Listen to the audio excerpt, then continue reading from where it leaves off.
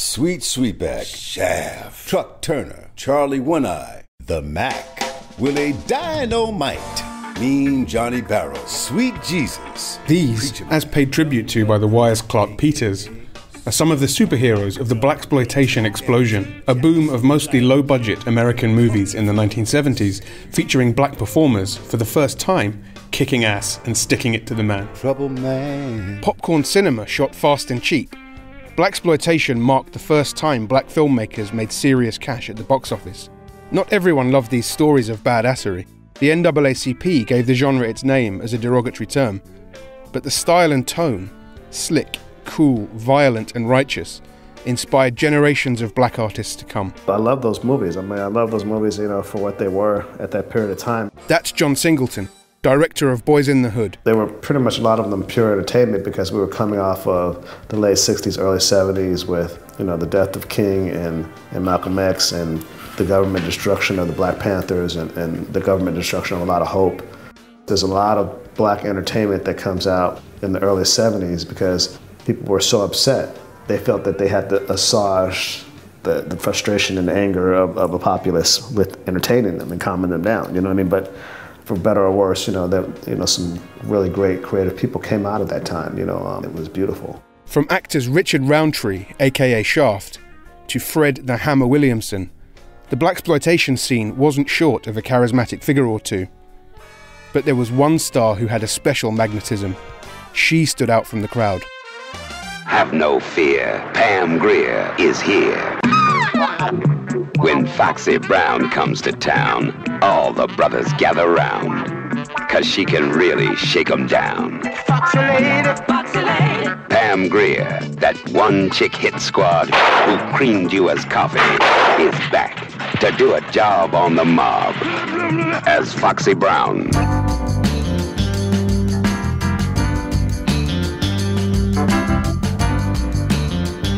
I'm Ashley Clark, programmer of the Black Star film season at London's BFI South Bank.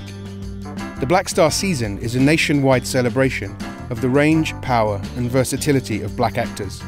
Over six weekly episodes, we're telling the stories of six black stars and looking at how they helped shape the landscape of Hollywood and the world beyond. Last week, we focused on Harry Belafonte, the legendary actor and singer who put his career on the line with his activism. This week, it's the turn of a star who rocked, socked, and shocked Hollywood and the world in a different way. The one, the only, the mighty Pam Grier. First time I saw you walk on by, You've got the look. the talk of the town and the queen of style. You've got the look. Pam Grier was born in 1949 in Winston-Salem, North Carolina. She had an unorthodox upbringing. Her father was a mechanic in the Air Force, so the family moved around the US, back and forth across the Atlantic, on and off of military bases. Wherever she was, though, she was growing up in an era of unrest and political turmoil. I saw more violence in my neighborhood and in the war and on the newsreels than I did in my movies, Grier once told an interviewer. Coming from the 50s, things were very violent. We were still being lynched. If I drove down through the South with my mother, I might not make it through one state without being bullied or harassed. Well, it was a time of a lot of violence in the black world. That's Grier's biographer, Andrea Cagan, author of Foxy My Life in Three Acts. But her mother showed her that all white people were not mean people. Somebody once picked them up in a bus. They weren't supposed to be riding in that bus. Black women weren't allowed in the bus or black people. And she was walking home with her daughters in a, with her children in a very, very warm day and the bus stopped and, and let her on and let the kids on. And at the end of it, she said, see, all white people are not bad. Perhaps not in real life, but in blaxploitation films, real world racism was reflected by the fiction. Whitey was often the baddie. You pink ass corrupt honky judge. Take your little wet noodle out of here, and if you see a man anywhere, send him in because I do need a man. Grier's first flirtation with showbiz was on the beauty pageant scene, which she entered to fund film school. Next, she found work operating the switchboard at a Hollywood agent's office. But things really started to take off when she got a gig working as an operator for the independent B movie machine American International Pictures, a genre chop shop who since the 50s had been churning out fodder for that new lucrative audience, the teenager. Many of them probably snuck in to see an early Grier performance, a minor role in Russ Meyer's camp classic Beyond the Valley of the Dolls, released in 1970. It wasn't long before she was racking up the appearances in racy women in captivity sexploitation flicks. Just listen to these titles The Big Dollhouse, Women in Cages, and The Big Birdcage, for which the strapline says it all. Women so hot with desire, they melt the chains that enslave them. These are all films in which she was already working within the exploitation genre. That's Mia Mask, professor of film at Vassar College and author of Divas on Screen Black Women in American Film. Films that were inexpensively made, you know, with an eye toward being somewhat sexually titillating, but you know, pushing some of the boundaries or inv- invoking some of the discourse around race relations, but really not in a substantive way. But that was her her break or, or her entry into the film industry. These films make it possible for her to then transition to the black exploitation films.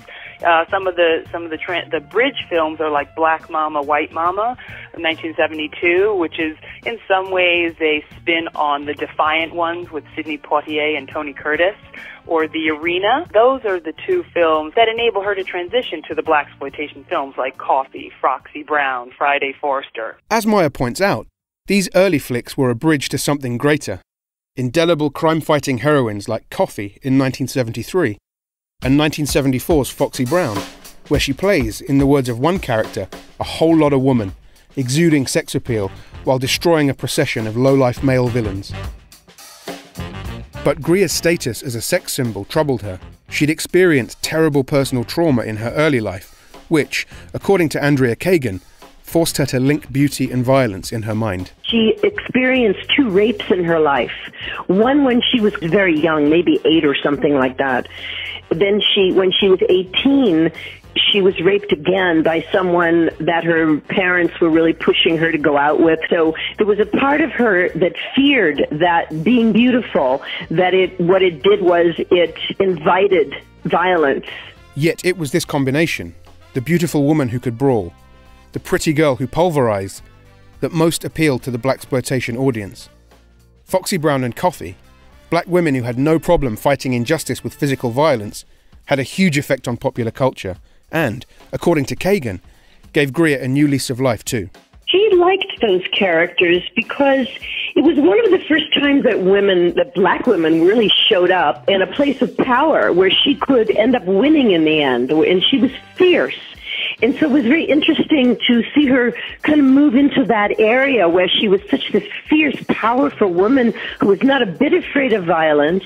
And the truth is that she's a, a pacifist and a very nonviolent human being.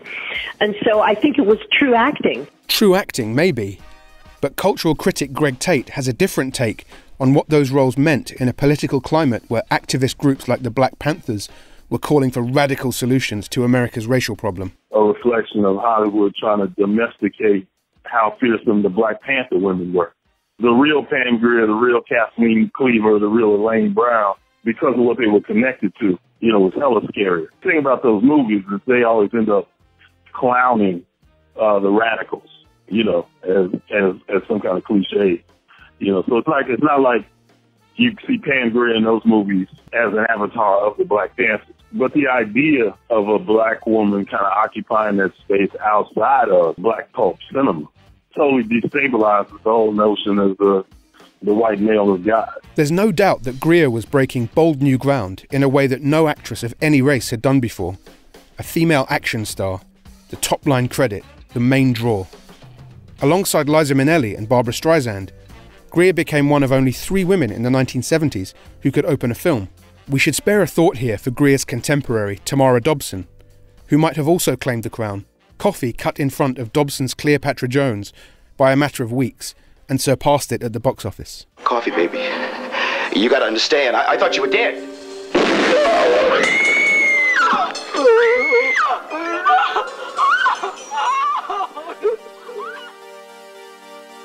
But Grier's stardom couldn't be sustained. Her career began to falter in line with the collapse of blaxploitation which, argues Mask, became artistically bankrupt. Unfortunately, instead of uh, branching out beyond the themes and the production mode of black exploitation, they relied on it and just kind of st- they, they being the studio producers relied on it and didn't actually take it as an opportunity to develop black cinema beyond that. So it didn't start out necessarily as something that was negative, but it ultimately reduced black film production to something very simplistic.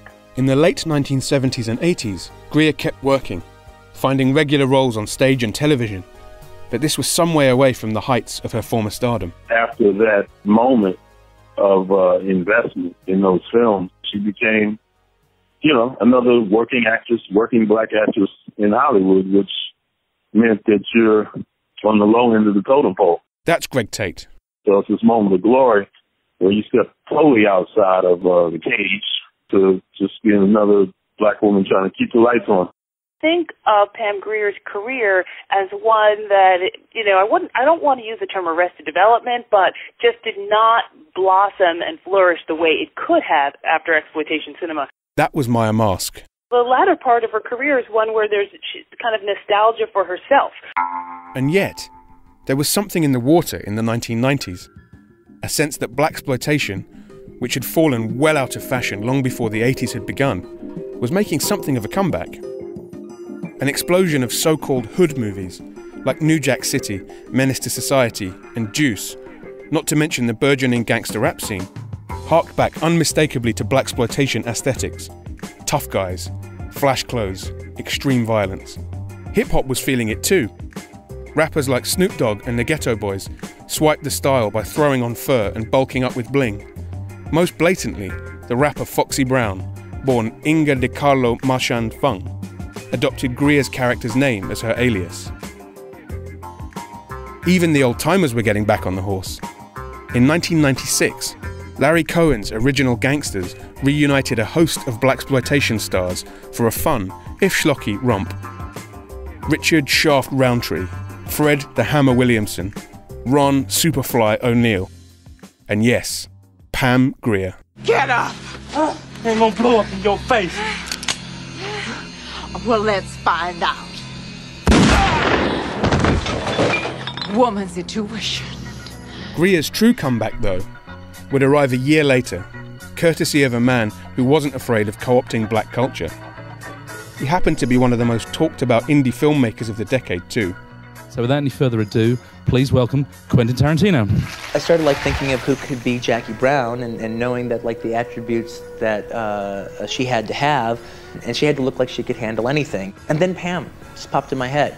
Pam's perfect. Pam is perfect for the role. All right, you know she's she's the exact right age.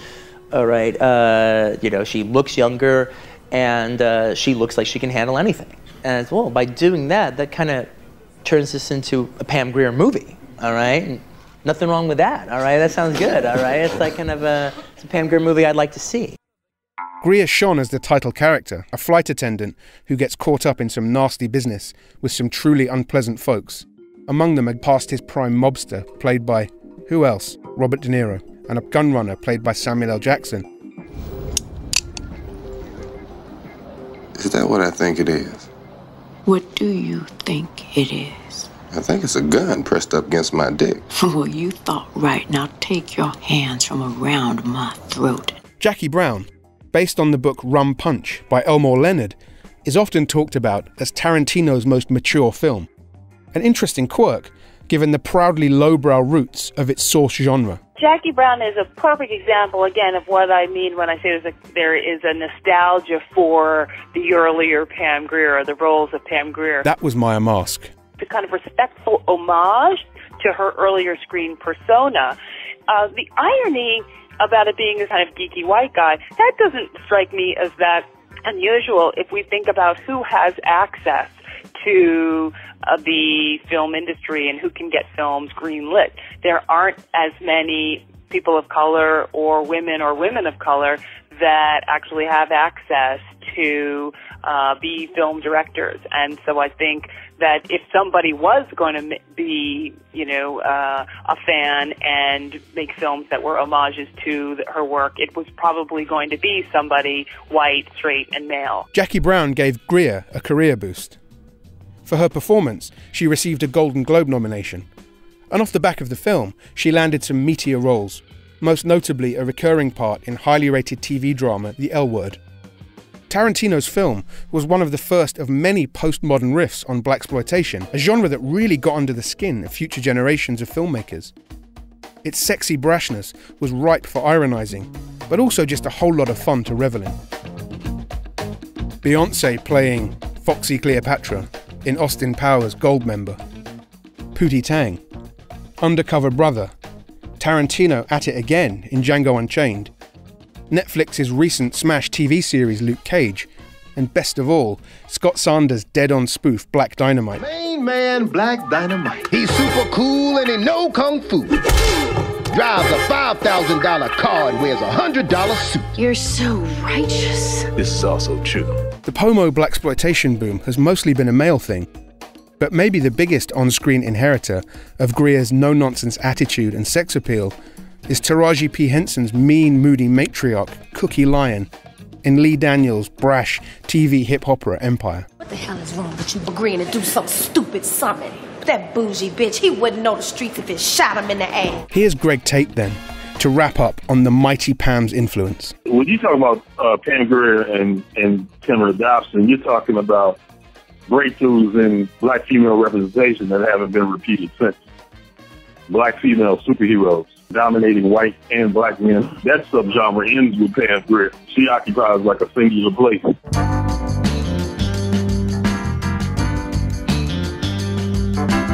Occupies a singular space is a phrase that equally applies to the star of next week's podcast. A comedy legend, powerful dramatic force, and bona fide black megastar, Whoopi Goldberg.